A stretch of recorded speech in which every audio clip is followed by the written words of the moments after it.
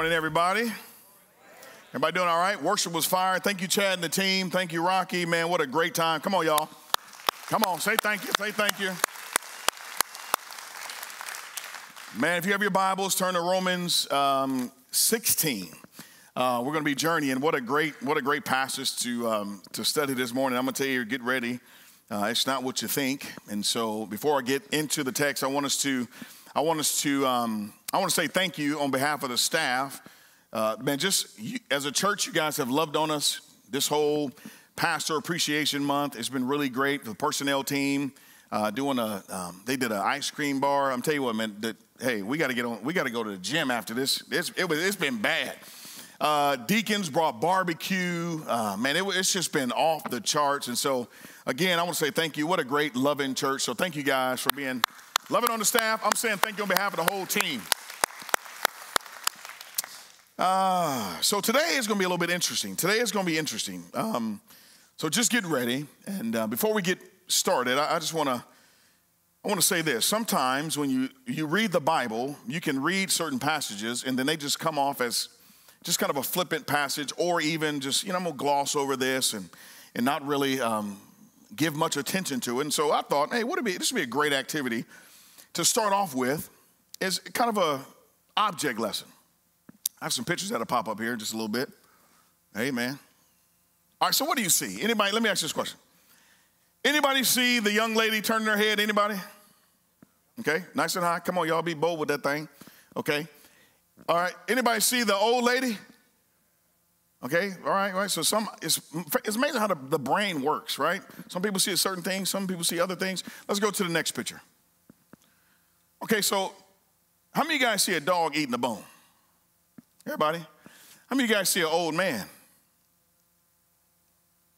Yep, see, somebody's smart. Flip the picture upside down if you can. Y'all see that? You see the hat? You see the nose and the eyes, eyebrows? Ooh, that's cold. Some of y'all like, y'all, some of y'all like, Pastor, send me the picture. Y'all gonna need to look at this over lunch. Observation, careful, analysis. Let's go to the next one. Okay, how many animals do you see in this picture? Five? Be careful before you throw a number out there. Okay, let's start with Captain Obvious. Anybody see an elephant? No? Come on, man. Don't don't don't go there. Don't don't mess up the sermon, whoever that was. All right, so elephant, how many y'all see a donkey? All right, how many y'all see a dog? How many y'all see a cat? The cat really don't count, but y'all see the cat? All right, so how many y'all see a mouse? How many y'all see a fish? Ooh, nice. How many y'all see a, uh, let's see, a whale or, or um, a dolphin? How many y'all see a snake? How many y'all see a turtle? Dang, y'all did good. Y'all went to, man, it must have been Conroe ISD up in here. Amen. I went to Oakland. Oh, hey, I the first hour I was naming off stuff, and I didn't even. They were naming stuff all like I don't even see that. Hey man, I, I didn't mess up my whole little deal. I was learning with y'all. So here's the point I want to make. This is this is our text today. Our text demands theological attention. It, it demands for us to actually analyze it in such a way to where we we don't gloss over it, but we, we carefully observe what the text is actually saying. Again, mind you, as a teaching team, we never want to look at the sermon or look at the text and try to just make a sermon. So what we do, what we do, all eight of us, we get in a room, we pray, and we study, and we, we look at the text and allow the text to come to us, or the sermon to come to us. And so this morning, it's no different. And when we read Romans 16, 1 through 16, it's going to seem as if Paul has just had a memory lapse, or he's just had a number count, a word count. He had to hear him get the, last little bit of words out, right? Like the Spirit gave him a word count, like you're doing a paper or something. Uh, or he just, you know, uh, let me just uh, let me just throw some people in here. But it was way more than that. So um, I told you last week, as we read these names, okay, y'all stay with me. It's gonna be some, it's gonna get choppy. I don't know if y'all been on an airplane to get some turbulence. It's going to get turbulent up in here fast, all right? So here it is Romans chapter 16 and verse 1. Careful observation. I commend to you our sister Phoebe, a servant of the church, a centray, sentry, that you may welcome her in the Lord in a way worthy of the saints, and help her in whatever she may need from you. For she has been a patron of many and of myself as well. Verse 3 Greet Prisca. Some would argue that's um, the same from the Acts, but Prisca and Aquila, my fellow workers in Christ Jesus, who risked their necks for my life. To whom not only I give thanks, but all the churches, notice that, not a few churches, but all the churches. So y'all circle all in your Bibles. All the churches of the Gentiles, and they give thanks as well. Verse 5 Greet also the church in their house. Oh, they were having house churches. They, they, they, had to meet. They were meeting. We got a fellowship. We had a great fellowship Friday night. It was great. And some great food. Man, it was banging. Greet also the church in their homes. Greet my beloved. How many y'all can say that one? Anybody got that one? Come on, if you bold with it, say it out loud. Come on. Papanitas, right? I said it quick. Sound like um, um uh, let's see, uh, empanadas. Yeah, that's what it sounds like. There you go, says. Thank you. Empanadas. Thank you. Who was the first? Notice this. Empanadas was the first convert to Christ in Asia. Let's keep reading. Greet Mary, that's an easy one. Common name during that time. Greet Mary, who was or who has, excuse me, worked hard for you. Now, if you're looking for names for your kids, just thank me later. Amen, because this is a great list to choose from. Look at verse 7. Greet Andronicus. Looks like Android, doesn't it? I think that's where they got Android from. Greet Andronicus and Junia, my kinsmen and my fellow prisoners. They are well known by the apostles. Interesting and they were in Christ before me. Interesting. Greet, somebody say that one. Ampliatus, why not?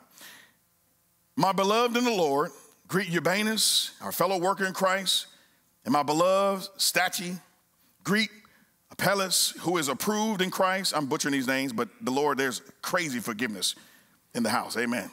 Greet those who belong to the family of Aristobulus, right? Is that right?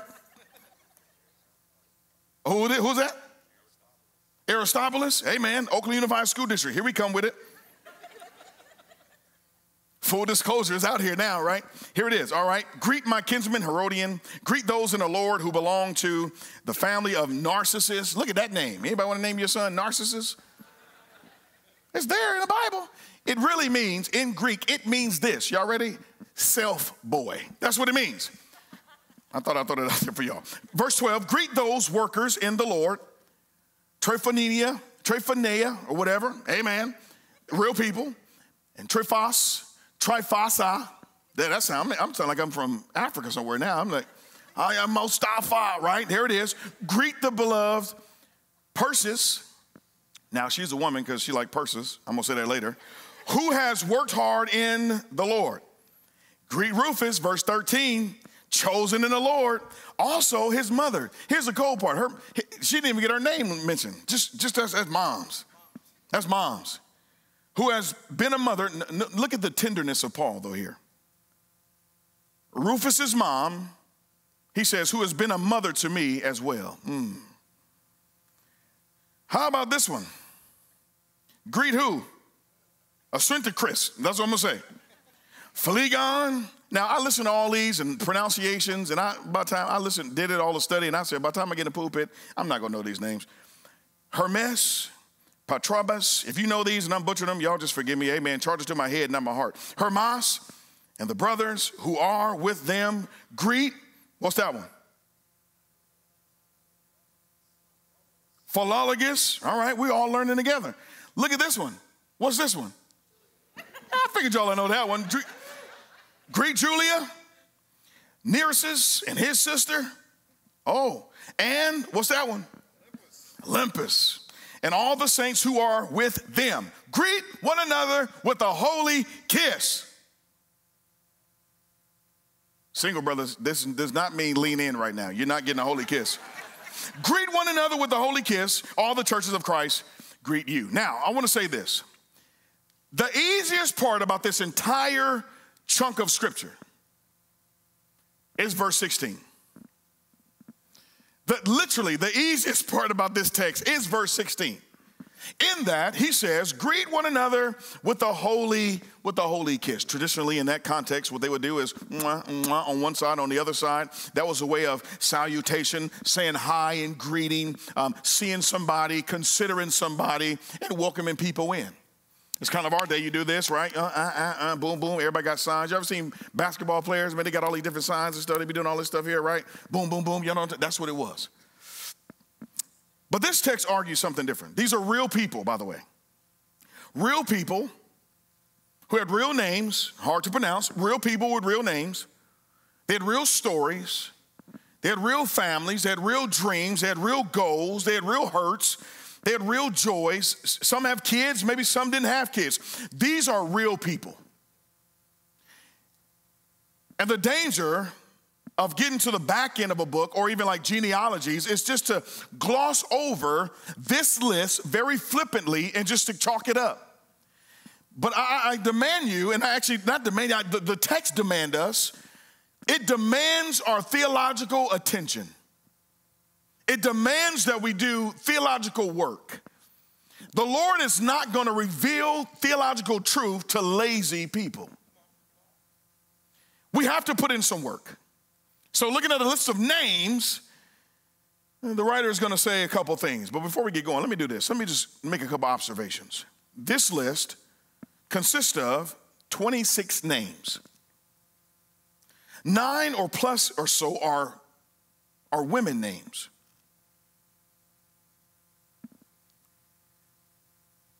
Diverse groups of people, ethnically, socioeconomic, uh, statuses, Jews, Gentiles, people from Asia, different places, former slaves, estate leaders, low class, high, high class, male, female, married, single, households, individuals. This, this list highlights all those people. It's funny because as you read it, it kind of sounds like, it sounds like kind of the church, right? Diversity. But this text also has, and it comes with a complex, it's a complex list. Now, y'all stay with me on this. It's a very complex, there's complexities to the list. Out of the gate, you see this, he mentions Phoebe. Everybody say Phoebe. He mentions Phoebe's name, and I, want to draw your attention to the fact that Paul spends most of his time in this, this little chunk that we read today talking about Phoebe. I think this is very intriguing. Again, this is we can't be theologically lazy. We can't just go, oh, it's just a list of people. We have to really look at this in its context. Paul didn't have a memory lapse. He wasn't just saying some random things at the end. He says in verse 1, I commend to you our sister. It's almost like at a wedding when you say, I pronounce to you for the very first time, Mr. and Mrs., whatever it may be. I commend to you our sister, Phoebe Notice what he says next. He says, a servant. Now, this word servant is the same word we get in Acts. We get doulos, which means deacon, one who hastes or can't wait to serve a table. He says, I commend to you Phoebe. She's a servant of the church, but he didn't just say general church. Paul literally links her to a local church. Now, this, this text is going to argue some things. It's going to stretch us theologically. Some of y'all, I know, I told my wife the first hour it was tight. Uh, that's okay. I'm going to keep on preaching. I'm going to keep mentioning that. You can feel the Spirit when He's moving and how He's going to uh, uh, press it upon your hearts. And I'm going to say this this may challenge you where you land theologically when it comes to women serving in the local church. This, this text argues this. I didn't make this up.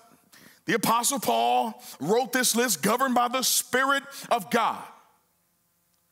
I don't have editorial rights, neither do you. I don't have the right to just determine what I think the text says and, and not what the original author intended it for, to say. So here it is. He says, I commend to you. Hey, hey, I pronounce to you Phoebe, a servant, doulos, uh, an under rower, um, a bond servant, uh, uh, just a person who, who can't wait to serve a table at Century. Notice this. He goes to verse 2 that you may welcome her. Welcome her. Paul is saying, Look, I'm going to tell you something. Hey, she's, I'm, I, I trust in her. There's, there's value there. I'm commanding you as an apostle who wrote over half of the New Testament, when she shows up at your doorstep, you better welcome her. Don't you diss her. Don't you, don't you say what society is saying. Don't you say what everybody else is saying. Paul is literally saying, you welcome her. It's the same word as in a sense of Greek with a holy kiss. You welcome her. You draw her in. Receive her like she was your own. He says this, you may welcome her in the Lord. There it is. That's the premise. A way worthy of the saints. And help her in whatever she may need from you for she has been a patron of many and of myself as well. Why is this important? Well, a couple things. I got to unpack this, but it's important because, again, we can't be lazy in, in our exegesis and our hermeneutical uh, approach. We have to really answer some questions here. The complexity of this list, I mentioned a little while ago, there's 26 names, and nine plus of them are women. Paul spends most of his time in this text, specifically this morning, talking more about Phoebe. Phoebe in verse 1, Aquila in verse 3, Mary in verse 6, Junia in verse 7, which is very intriguing as well. Tryphonia or whatever, and Tryphos in 12, Persis in 12, Rufus's mother in 13, Julia in 15. This text literally argues something. It refutes the notion and the claim that Paul was against women. Y'all see this? Why would Paul spend all of this time writing these names of these ladies, a third of the list. A third of the list. Now, mind you, I know in the church, tradition has, has become the engine. Tradition has become the engine. In that, we have allowed tradition. Tradition is not bad. All of us have traditions. Tradition can be very good. But when traditions trump theological truth, we have an issue. When tradition, we don't, when we're lazy theologically, coming to the text and we just we just been spoon fed tradition based on what we've been taught, what we've been um, around, or what we've been fed, and we no longer look at the text and wrestle with the text ourselves. That is hermeneutical malpractice. So therefore, the Spirit is saying something else. I really believe that that ladies, you have a place in the church. As a matter of fact, we wouldn't have a church without women. I like to see a couple people clapping. Man. The tension, here's the tension. Here's the tension. Traditionally, it's been like, hey, well, ladies, just uh, shh, quiet. You can greet at a door, you can hold a baby, you can sing on the stage. Um, I never, haven't seen a lady at parking, but you can definitely do parking ministry if you want to. Amen. Serving students. I mean, it's just it's just choir. I mean, we can we can list, but you know, when it comes to like being a deaconess, uh oh, no. The text is actually telling us something different, church.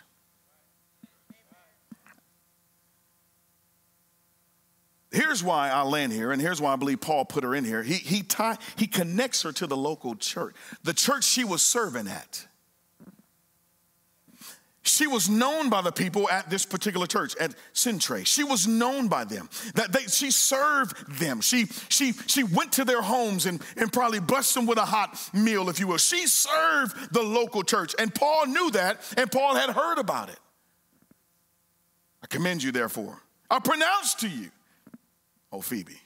Now, let me just say this as a church, we hold that the office of a senior pastor or a pastor is for men. I know there's great debate out there for that. Let me just say that. Let me just let me just say that. Just in essence, how God has wired uh, his his structure, even in creation, male, female. There are some dynamics. It's a whole other sermon, but there's some dynamics there that helps us understand this. But it doesn't say this because God's order is the way He's planned it or laid it out. That inside the church, some things women can just sit and be quiet and just say Amen. God has given women the Holy Spirit just like brothers. My wife is smarter than me. I'm gonna tell you right, Mandy is smarter than me.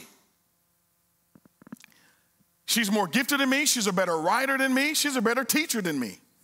I did say that. And I'm just hear me say this. I know you're like, oh, where are we going? Oh, he about to drop a nugget on us. Oh, man. No, no, no, guys. I'm, I'm, tight theologically and conservatively. I am. I want to hold tight to this. I want to hold tight to sound doctrine by God's grace. But let me just say this if I'm not careful, I'm not surrendering to the Spirit of God or our leadership, we can make this text say whatever we wanted to say. But because we know that the scripture demands from us that we do proper hermeneutics and we wrestle with the text in its original context and the original language, and we say these are real people, and Paul just didn't, uh, he didn't have a memory lapse and go, hey, I'm just gonna add a random group of people here. No, they are placed here for a reason. So that reason is this. I know you're like, man, you, you're really harping on that. Here's the deal. We believe at Crossroads, again, that the office of a pastor, senior pastor, and pastor is for a man and I think we've got it, we've, we've kind of begun in the church, not here in this church, but across the board, across the, the country, we've, we've, we've dissected, or the issue is, well, is it, is it minister or is it pastor? Here's what I mean. We have made value determined determined by the office or role we hold in the church. We we just like, hey, if you have this, you have value. Well, hold on. And that was never the determination of the role of the pastor, and the role, uh, and the role never determines necessarily value in that sense. The pastor's role is to shepherd and to care for the flock, not one of power or influence solely. So, regardless of role, we are called to serve and to minister to one another using our gifts as of as our value is not determined in what our, our title or things of that nature. Our value, your value, ladies, it comes from, it's not necessarily in the role either. It is actually in the one, your value comes from the one who created you. I want to wrestle and take my time with this text. Phoebe, Phoebe, here it is, Diakonos, Acts chapter 6. Uh, she, she, she really did some, some, some laboring. And I would even say this true theologically and historically, Paul would give after he wrote all of Romans. Guys, this thing we've walked through since January. Paul finishes the manuscript, he hands it to Phoebe. I, don't know if that, that just strikes different with you. It just strikes different with me. Paul said, Man, I can trust her. There's character here. There's, there's integrity here. I mean, she's a leader. And in my own mind, here's, here, hear me say this. Some of y'all like, oh, Lord. I, I wonder when she, she delivered it to the church in Rome. That's just my own speculation. If one of the guys, because they would read this stuff out loud, I wonder if somebody was like, hey, well, hey, uh, Phoebe, um, what did Paul mean by, uh, um, uh, what did Paul mean by we're justified by, by faith? Did she go, Well, this is not my space to talk? I, I just, I'm just asking the question. I think she probably shared what the letter meant. And you'll see on the back end why I would argue that. So, Phoebe, not just Phoebe, yet Janiah. The NIV reads in verse 7, it reads that she was well known or Andronicus, Janiah, my kinsmen, my fellow prisoners, they were known among, that's what the NIV would say, known among the apostles. Our ESV says they were well known to the apostles. And they, notice this, and they were in Christ before me. That's a, that's a humbling statement for Paul to say. Again, he wrote over half of the New Testament. Why would you add that little clause on there? And by the way, and they were in Christ before me. Here's what Paul is saying Paul is saying they've been doing, this couple, they've been doing work way before I hit the scene. They, they have been risking their lives, and, and somehow, some way, they found themselves in the same cell or in the same confines as Paul at some point in time. And Paul calls them fellow prisoners, but they had to have been known not just by Paul, but also by the apostles. Before Paul had an encounter with Jesus on the road to Damascus, these people, Janiah and them, were already doing tremendous work for the kingdom of God. And Paul wants to take record and help us to understand that, that they had been doing long work before I even knew the Lord Jesus Christ. Now, there's debate again. Is she considered a apostle? There's much room for debate there. Or was she just known by the apostles for having a significant impact in the advancement of the church? I'll let you put that in your theological pipe and smoke it.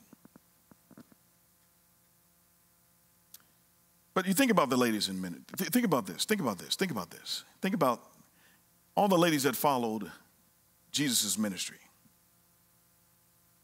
Now, now, no, think, read your Bible.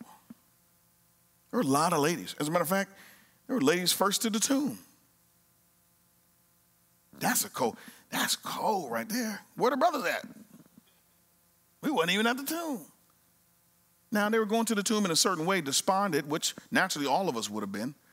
But they were going to the tomb nonetheless. And so, but not only that, they would leave the tomb and proclaim that the Christ is risen. When we think of evangelists, we think of Billy Graham. We think of, man, strong personalities, John, Jonathan Edwards and Moody and you know, all these greats through the years, even Greg Laurie in our day to day, Clayton King, and we think of all these great pontificators. I mean, do you know in John chapter 4 that the woman at the well was the first evangelist? She had an encounter with Jesus, and what stopped her? Jesus, she dropped the bucket that she found comfort in and identity in. She dropped that. She goes into the town and begins to share freely about what happened in her life we tend to, again, tradition, be careful with tradition. Tradition will hold, tradition will hold you back. Tradition can blind you. Tradition can steal from you what the Bible desires to teach you. Be very careful. And so, the Great Commission, have you thought about this? It's funny because the Great Commission, we tradition says that, you know, so here we've encouraged our deacon wives to actually help serve communion. That was something that happened after a year and some change and me being here, and everybody was like, okay, we're good for it. The deacon team was like, yeah, we're good for it. Everybody was agreeing. Hey, amen, good. Right? So make sure y'all with me on this because we roll this out. I want to be stoned to death. Amen. Come on now. Right? Be dodging rocks and carrying on. We ain't got time for that, right? So they agreed. Boom. And so we've seen it. We flushed it out. Some of the deacons are in here. We know it's, it's been a great thing. It's them using, they're just serving. Now, what about the Great Commission? Have you thought about this? The Great Commission is for every single believer. The Great Commission is for a man, woman, boy, or girl. If you have trusted Christ as your Savior, believed in His work solely for salvation, your Great Commission DNA is Matthew 28. You don't have to go get a degree for that. You don't have to tarry for that. You don't have to really go to a lot of classes for that. At the moment of conversion, so much so, Second Corinthians 15 would say that it's in the present tense, not future tense, that you have now. You have a ministry of reconciliation and a message of reconciliation. Every single person that's in Christ. So here's what I want to say. The Great Commission, then, traditionally, it has been approached or seen as something just for men. Here's why what about baptizing? Traditionally. I'm talking about traditionally. If the Great Commission is for every single believer, why have traditionally in the church we've, uh, we've just kind of succumbed to this, this idea that, okay, just it's only for males to baptize. If Mandy leads a lady to Christ, well, she has, and it was like, like if, like she never had, but she, she's, the Lord has used her lead a lady to Christ, disciple the lady, and that lady, out of all pureness and, and genuineness, looks at her and go, Will you, will you, will you, will you disciple, will you um, baptize me? Well, no, the Great Commission, there's a clause in there. In the Great Commission, it's really kind of hidden in there. Uh, it's really for men only. I'm just saying, guys, put on your thinking caps. The ch- change is coming. Crossroads, change is coming. Change is coming. Change is inevitable. Ch- change is inevitable. I mean, as we're in this room right now, change, the culture is changing even right now outside. Change is always happening. So, what we want to do as a church, we want to say this we want to marry the gospel, we want to marry theological truth, we want to wrestle with the Bible, we want to wrestle with the content, and hopefully, by God's grace, He leads us to a place of sound doctrine, which we know He will. He's faithful to that. We want to marry this, but we want to date the methods. We, don't want to date the gospel and marry the methods. Then we're in trouble. Are y'all hearing what I'm saying in here this morning? We got to be very careful. You may say, well, Pastor then lost it. He been he getting too comfortable. He turning liberal. No, I'm not. I'm just praying and trying to line up with Jesus. That's what I'm trying to do at the end of the day. So, ladies, let me just tell you this. You, you have worth, you have value, and we want to celebrate in the proper context God's gifting in your life in this church.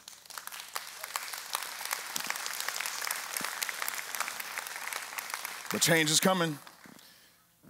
Pastor Larry, he, him and Vicky, they flew to uh, North Carolina to meet Mandy and I.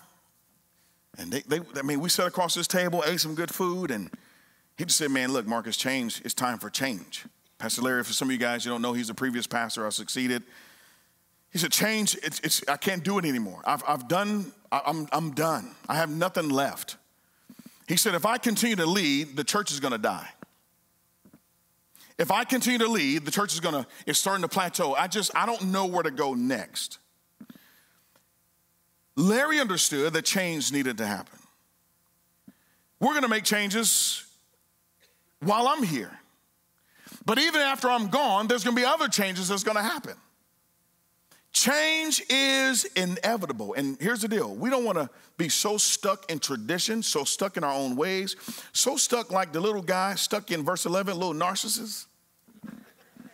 We don't want to be stuck like little narcissists going, no, this is just about me. I, I, got, God, I have your whole kingdom figured out. I got your whole sovereign mind figured out. I got all of the Bible interpreted just to a T, all the everything from just all the theological premises and the tentacles of all the systematic theology. I got everything figured out. And matter of fact, when I study the Bible, I've exhausted the text. No, you have not. The Bible is eternal. The, I'm just scratching the surface right now with this thing. Matter of fact, the word says that everything will pass away, but God's word will remain. So here it is. Change is coming.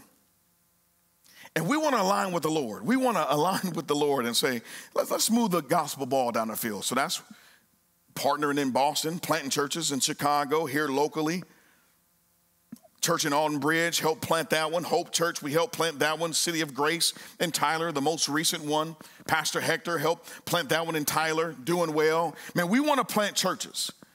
We want to reach the lost. We want to go against the grain of what the culture is saying. And guys, I'm gonna tell you, it's a lonely place.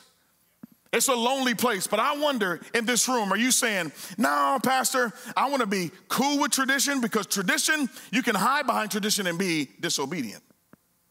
You can hide behind tradition and be complacent. There's nothing about the cross that's complacent. There's nothing about Calvary that's complacent. There was nothing about Jesus' ministry that was complacent. So here it is. We, we, we want to marry the gospel. Mm, I want to marry this. But I want to date the methods. So here are two things we want to land the plane. A lot of diversity in this group. I, I, again, guys, I could stay there. There was so much in here the different names, what they mean. But here's what I noticed with this group 26 names. They had a common conviction. All the diversity, different places that they were from, all the different uh, dynamics, socioeconomic statuses, and I mean, all the different deals that brought about the diversity. What drew them together? What caused them, as Paul would say, to even risk their lives? Well, they had a common conviction, and that common conviction was this that they, they heard, or some of them had even seen, the risen Savior. They saw Jesus. He appeared to over 500 plus people at one time. You mean tell me everybody was hallucinating at the same time? 500 people? No. Women at the tomb, he met them. They, they knew. Lives changed forever. You know, it's funny because we operate in a place of doubt. And Thomas, poor Thomas, he gets beat up all the time as doubting Thomas. But you know, some of Jesus' greatest statements came after some of Thomas's doubting statements in the Bible. Y'all remember the story? Thomas was despondent that Jesus had died, and so he wasn't with the disciples when the first time the disciples had saw Jesus. And so the Bible says that Thomas wasn't with him. And so I wonder in Bible times what happened, even in our culture today, animals, they will go out into a distant land to die. They don't want to die around other people. They want to go to a distant land and die. So this is what many theologians will say that this is what Thomas did. He was so despondent. Have you ever been despondent? I mean, just low. This three years walking with King Jesus, he's gone. He wanted to die. So the next time they come running, they find this boy, he like shaggy, he ain't shaved, he looking a hot mess. Hey, Thomas, hey, yo, we saw Jesus. Man, come on, guys, stop playing with me. Don't waste my time. Man, we saw Jesus. We, we really saw him. And Thomas goes, okay, okay, okay. If you really saw him, then here's the deal. I will believe if. Now, let me ask you this question Do you have an if faith or regardless faith? Some of us, we have an if faith. If God, if I see X, Y, and Z, that's when I'll really believe. That's when I'll put all my yes on the table. God is not looking for an if faith, He's looking for whatever faith. So, what did Jesus do? I know it's Halloween, I don't want to spook nobody out. But Jesus, the Bible says in, in John 20, Jesus came, the disciples were meeting, they were afraid and in there because, you know, they were associated with Jesus, so the culture, you had religious leaders, you know, whatever. So they were kind of afraid. Jesus come walk straight through the door, cold with it. The Bible says he just came. He just, normally we'll see him knocking, things of that nature. He comes straight through the door. And what does he do? He goes straight to Thomas. I think some of us were doubting the Lord, and even today, the Lord is saying, "I'm gonna come. I'm coming straight. This this morning, I'm, I'm coming straight for you. I'm real." Thomas, put your hands in my finger. What do you do? Can you see that? Can, can you imagine? Can y'all imagine that? Thomas, I can other disciples, I can imagine they're like, I hope this fool believe now. You know what I mean? Man, if not, he crazy, right? So here it is, boom, bang. And then, man, put your hand in my side. I mean, can you imagine your hand going in the side of Jesus where he had been speared? Blood and water fell out? Hey, here's the deal.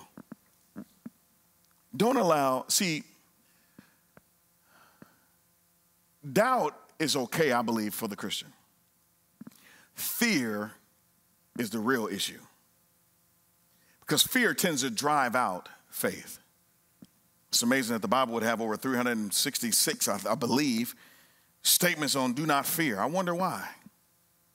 Because we need to have faith in the Lord. They had a common conviction. They knew, they knew. They didn't have no campaign, no social media, no budget, no PR group. Uh, this is a common, compelling conviction. They knew Jesus died and he rose again on the third day, and in some form of fashion, it counted for them. When he hung his head in the locks of his shoulders, before that he uttered, It is finished, they, they were saying, it, for, it, it, it counted for me somehow. It counted for me. And based on that, I want to live my life completely yielded and useful for the kingdom of God. That was the only conviction. That's the only thing we can actually say. So here it is. They, they, they just wanted to let somebody know. Here's what R.C. Sproul, I love he said. He said, evangelism is just one beggar telling another beggar where to, where to find bread. So, conviction is this I don't know how convicted you are about the gospel, what Jesus did on the cross for you, that he is alive, he, he rose on the third day, he's seated at the right hand of the Father, and his present ministry is to intercede on your behalf. Right now, he's interceding. Right now, he's interceding for y'all and for me. Jesus. Here's what conviction is it's a belief held on the basis of evidence. Faith your faith is only going to be as strong as what you put it in. I want to put my faith in Jesus. Regardless of what it may look like, regardless of the outcome don't come out the way I want it. I want to put my faith on and in in Jesus. Well, man, we got 29 seconds. Man, that, that's crazy. Mm-mm-mm. Here's what Alistair Begg said. He said this When a man kneels, man, woman, boy, girl, in Christ, it does something to his head and his heart. Our posture, your posture, reveals how you respond to Jesus. Just basic kneeling. You know what's amazing about these attributes or these characteristics that Paul lists these people and how he connected them to? I mean, he says, man, that some of them, some of them were servants, some of them fellow workers, some of them worked hard. He, he says that language fellow prisoners, cared for, served, suffered, risked their necks, risked their lives. They loved well, hospitable. You say, where's that? Well, Rufus's mother, she had to have been hospitable to some degree. Take that boy apple pie. Take him something. He said, man, he said, man, she was, she's been a, she has been a mother to me. Maybe she prayed for him. Maybe she just wrote him a note and said, man, Paul, you, you're doing a fantastic work. We don't know. But they also had a commitment. I don't have much time with this, but they had a commitment. They were committed to, their commitment came from their conviction. Band, you guys can come on up. Their commitment was connected to their conviction. They were committed because of their conviction. They were committed because they had seen Jesus. They were committed because they knew that life was bigger than them. And we don't serve the Lord just to have our names in a list. If you want your name to be in lights and be seen all the time, hey, be, be very careful. You're probably not serving the Jesus of the Bible.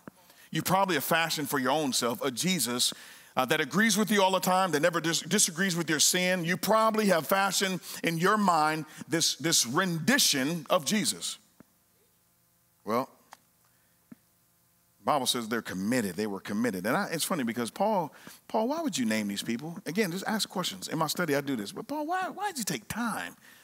And as I'm thinking about that, I was thinking, I said, man, I've never really thought about Paul having friends. Have you? How often have you just thought like Paul was, he had a whole bunch of friends?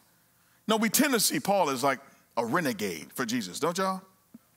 Like a Robocop, like a Robocop type dude, just planting churches, healing people, doing whatever. We just like, like Arnold Schwarzenegger, the tape, the Terminator. I mean, just like, you know, that's what we just like, I'll be back, right? We just we just see him like that, just this grit guy. Paul had a tender side. Paul needed people. And the commitment was connected to other people. The commitment was connected to community. The commitment was connected to a conviction. The commitment was com- committed to a one who was ultimately committed. I'm glad, I'm so glad, I'm so glad, I'm so glad that Jesus was committed. I'm, I'm so glad that Jesus was committed. Why, Pastor? Why are you so excited? Well, I'm excited for this reason that He doesn't count my sin against me anymore. He doesn't count your sin against you if you're in Jesus. But Jesus willingly died for you to forgive you of your sins, to expiate. That means to wash clean Though you were stained like crimson, he said that he will make you white as snow. Penalty of sin, everything he's been talking about. This is where their conviction came from. This is where their commitment came from. It's, it's really chapters 1 through 11. This is it. I, am I, guys, I, this is uh, from no more shame, no more guilt. And no, those things creep in, but, but, but I'm committed. I'm committed to God. No matter if I risk my life, no matter if I die, no matter if it, it costs me a little public fame, no matter if it costs me to be uncomfortable a little bit, I'm willing to be committed for the great news of Jesus Christ. I'm committed. So here it is. They're committed to the fact that Jesus not only died, but he rose three days later putting silence to sin, death, and the grave. I told y'all, greet each other with a holy kiss was the easiest part of this text. It really is. And but but here's the deal. They also had this commitment on, man, I got, I got to pass this on. I gotta I have to pass this on. Do you know Romans 16, 1 through 16, we're all beneficiaries. Crossroads exists because of this list. Crossroads literally exists because of that list. You heard the gospel from somebody in some context, ultimately because of God's sovereignty and things of that nature. Yes, we're in His providence. We understand that, but but it was the faith, the conviction, and the commitment that these people had to pass the thing on. That, that's the only reason. I heard the gospel in Fresno, California, 1990. Well, it, that, that, Pastor Marvin Davis, it was because the, he was a beneficiary of that list. And then everybody else. It's amazing because Pastor Larry, y'all remember this April 20, he said, Man, look, I'm, I'm, Marcus, here it is. I'm passing the baton to you. He said, Will you point? This is all he said. We, we got up, we're done eating. We walked out to like the little area. He said, Will you point them to Jesus? That was his only question. Will you point them to Jesus? Now, he had been the pastor, the only pastor at that time, man, for 25 some years. He said, Will you point them to Jesus? I'm going to do the best I can. I'm going to point them to Jesus. He said,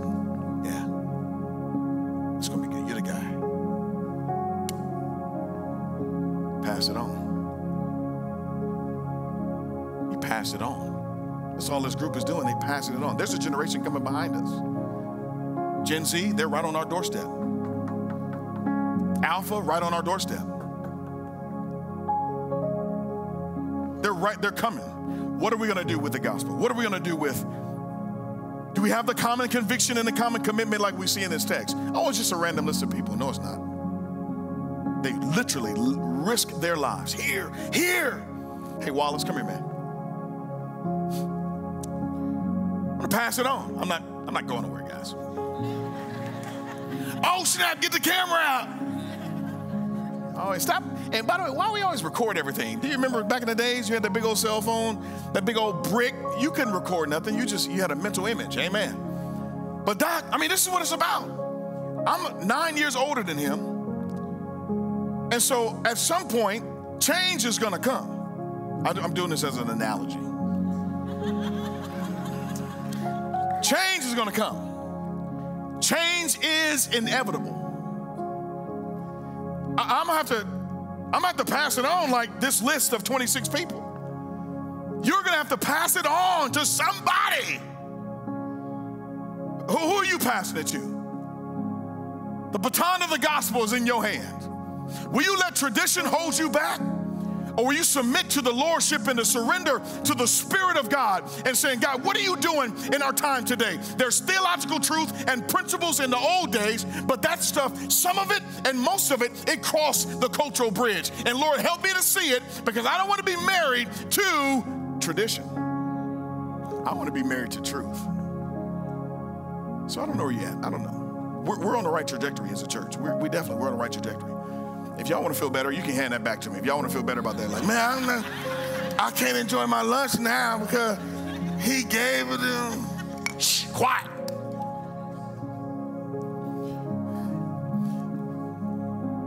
I don't know where you're at. So here, let's pray. Let's pray this. Lord,